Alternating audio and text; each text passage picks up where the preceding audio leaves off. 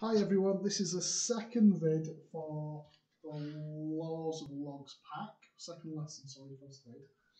Um, and do you remember me saying last lesson that all logs is, is just the power? And that's what it says there. People get really hung up on logs, but it isn't, it's dead easy. So they've got this example here that if you know that 2 cubed is 8, I can use this thing called log to base 2 of 8 is 3. Now I do a slightly different example. So I might say that 10 squared I know is 100. So log to base 10 of 100 is 2. So I've got these two different ways of writing the same thing. Now you've got it on your calculator. If I just hang off, just run into the desk, pressing escape, pressing escape, still pressing escape. Right, so if I look on the calculator,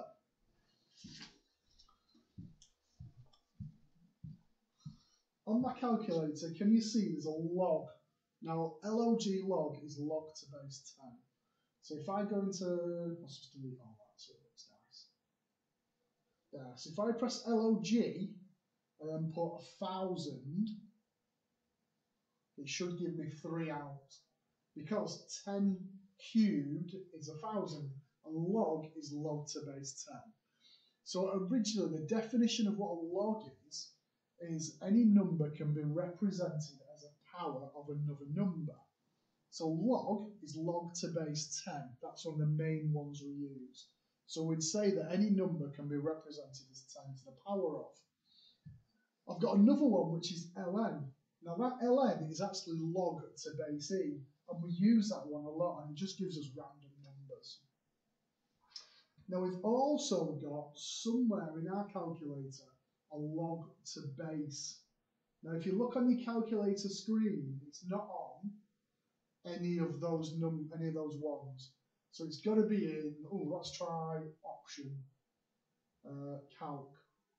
I bet it's not there. Oh, here we go, log AB. So option calc and log AB. So that would allow me then, so if I wanted log to base 2, so I'm saying I could write a number as 2 to the power of 8. So I know that 8 is 2 cubed. So it should give me a value of 3 out. Yeah, there you go. All logs is, is just a power. You have a base raised to a power. That's all logs are. Right. So it says, so we're going to rewrite these. So if 2 to the power 4 is 16, so I'm going to use, I'm using this. So that tells me then that log to base 2 of 16 is 4. Now I know that. I know 2 to the power 4 is 16. Really, I should have these little arrows. You should put, it should be on one line. So there's two for you to do, three for you to do. So the 7 squared is 49. So log to base, so the 2 there is the base.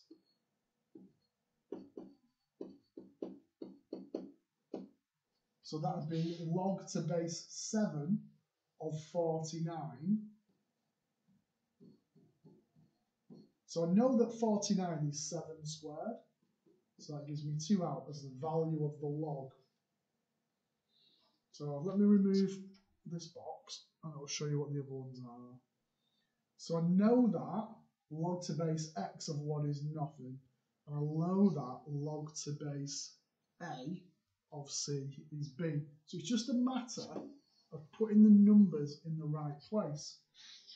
So this one's using it again, but I'm going backwards. So log to base 3 of 9 is 2. So that tells me that 3, because that's your base, log is the power, because that's your log, or your power, is 9. I know that. So let's have a look at these numbers then.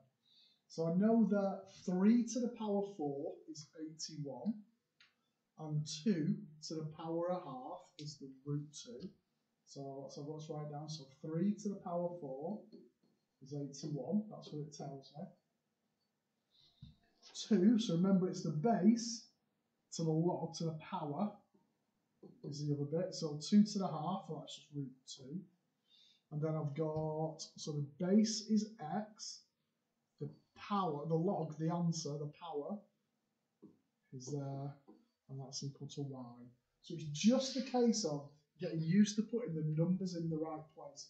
And you won't like it at first, but if you remember this idea that 2 cubed is 8, so log to base 2 of 8 is 3, or 10 squared is 100, so log to base 10 of 100 is 2, you can travel backwards and forwards.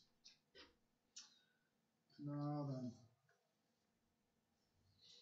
So if I put this in its alternative form, I'm saying that 3 to the power of 4 is x, and 3 to the power of 4 is 81.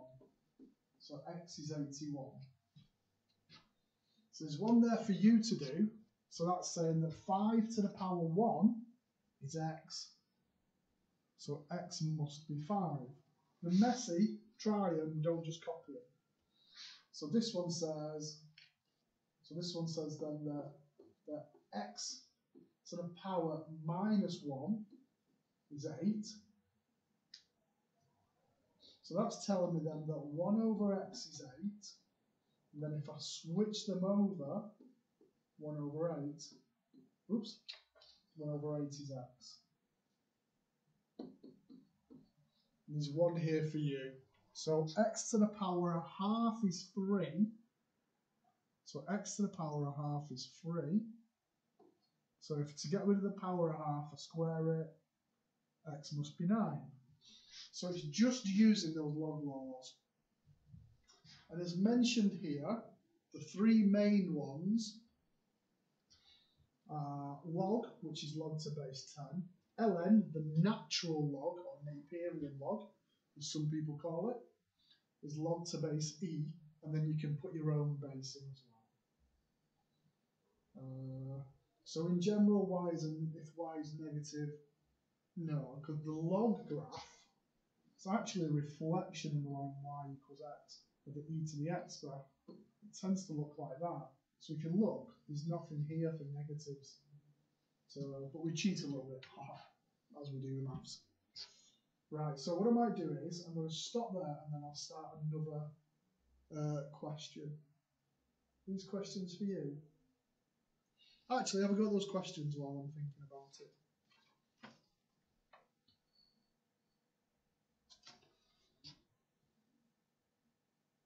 So this is just use your calculator, isn't it, stuff? So I actually just put it in your calc, but I'm going to stop it now.